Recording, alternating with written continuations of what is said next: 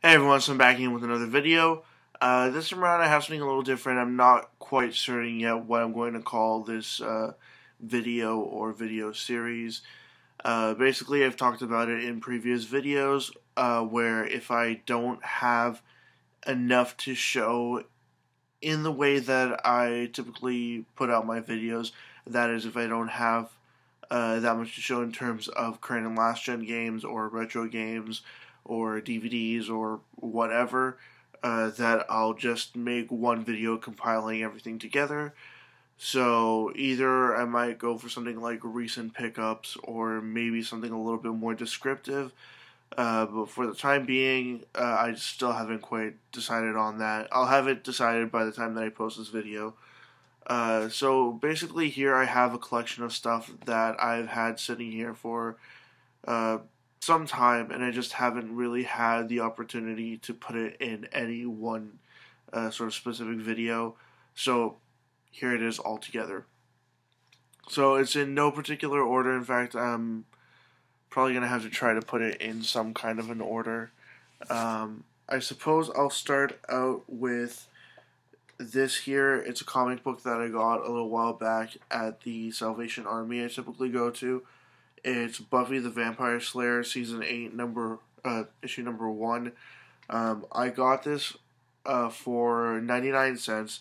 They actually had, uh, if I remember correctly, um, about thirty uh, issues in this series, and I wish I could have gotten all of them, but it would have just been way too much money to spend um, on comic books.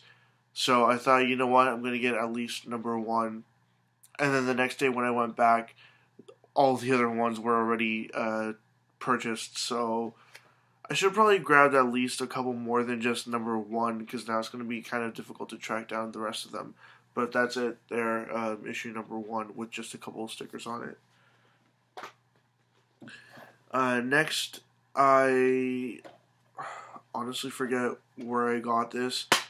I think I got it from a Value Village, but I might be wrong on uh, on that.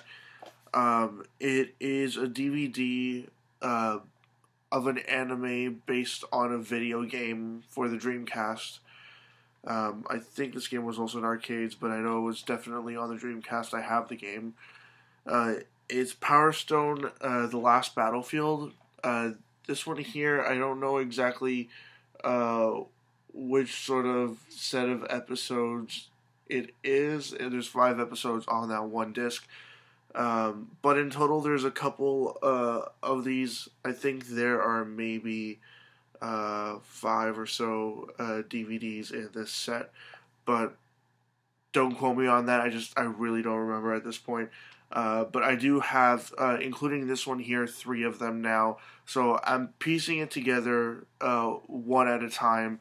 Um, I wish I could find more of them, but I uh, have surprisingly found uh, one of them three times, and that's just really annoyed me that I found that one three times. Uh, next up, I got uh, this PS4 game. Uh, nothing too special, but it is definitely a good game. It's The Walking Dead uh, complete first season plus 400 days. I believe that's supposed to be like the Game of the Year edition of it. Uh, I'm not entirely certain though if the uh, 400 days is included on disc or if it was a download voucher that has since been used.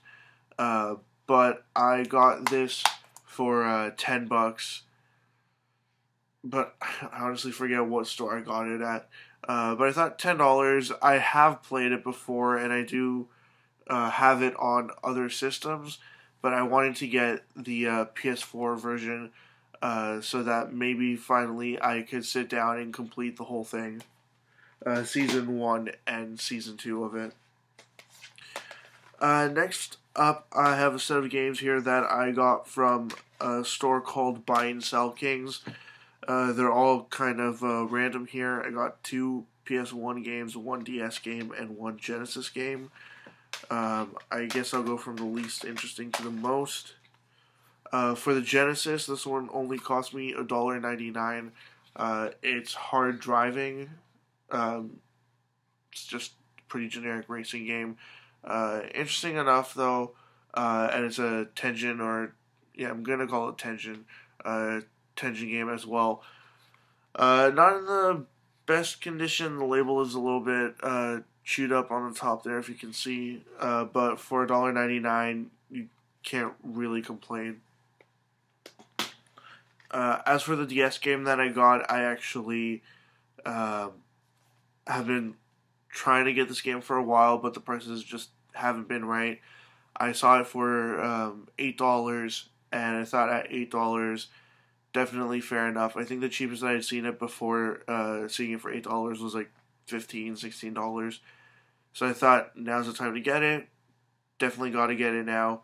Uh, it's Dig Dug Digging Strike, and I actually didn't learn until uh, this game here that uh, this guy here is the father of uh, Mr. Driller from, well, Mr. Driller.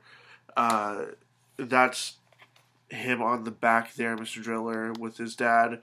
Um, apparently, he shows up in this game as like an ultra or special attack, something like that. Uh, otherwise, the uh, gameplay is pretty much straightforward. Dig Dug uh, with a little bit of sort of updated fun to it, I suppose.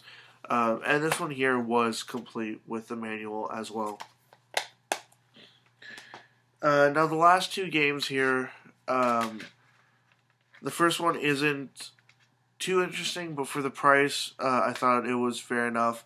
Uh, the case is kind of bashed up, but the game itself is in pretty decent condition, and uh, it came with the manual as well.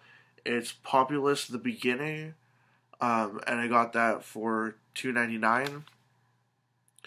Uh, don't know much about this game. I I really was just looking through. Uh, they have a whole bunch of games priced at two ninety nine as is at the store, but PS One discs are very hardy.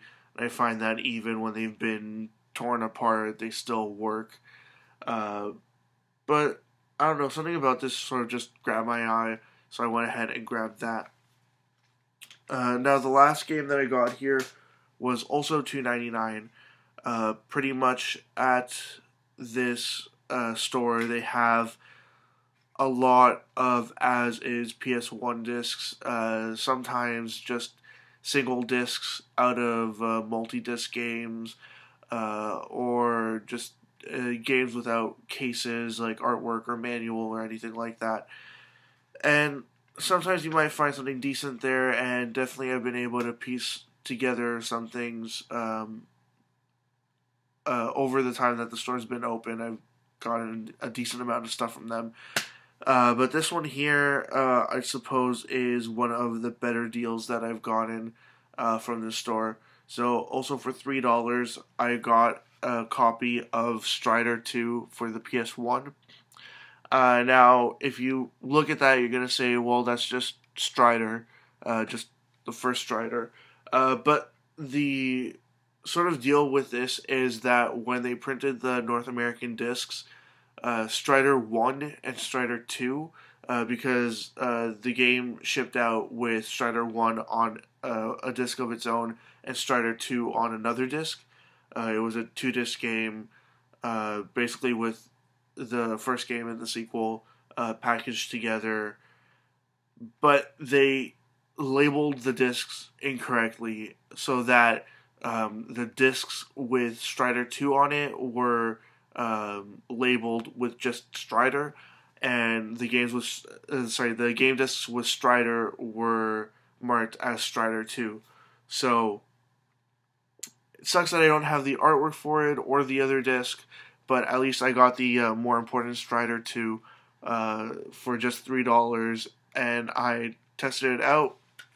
The disc is actually uh, pretty much flawless. Uh, I see just very few uh, light scratches on there, but it's kind of hard to see really. Um, it played perfectly well. I actually went ahead, played the whole game, and finished it. Uh, it only took about uh, it was either like forty to fifty minutes. About uh, it didn't take all that long because it is just a port of an arcade game. Uh, so it's definitely one of those games that you can finish in one sitting.